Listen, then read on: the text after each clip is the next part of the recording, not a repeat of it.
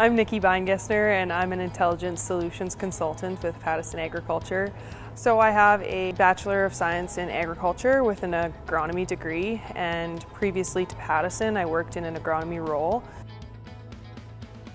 The ISC role is really heavy technology based so we work with all the GPS technology within the equipment as well as everything that comes along with it. We have an online platform called Operations Center. I work on a regional level, so I support four different stores. I support Russell, Moosomin, Balcarres, and Yorkton. This allows me to be on the road a little bit and travel to different locations. I get to meet lots of customers from a wide land base and work with different kind of production systems.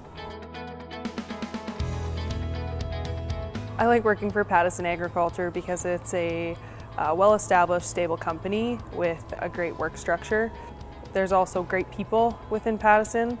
Working with great people makes a huge difference. The ability to progress and, and move up. You're not stuck in the same position. There's lots of different options within the company if you're looking for something different.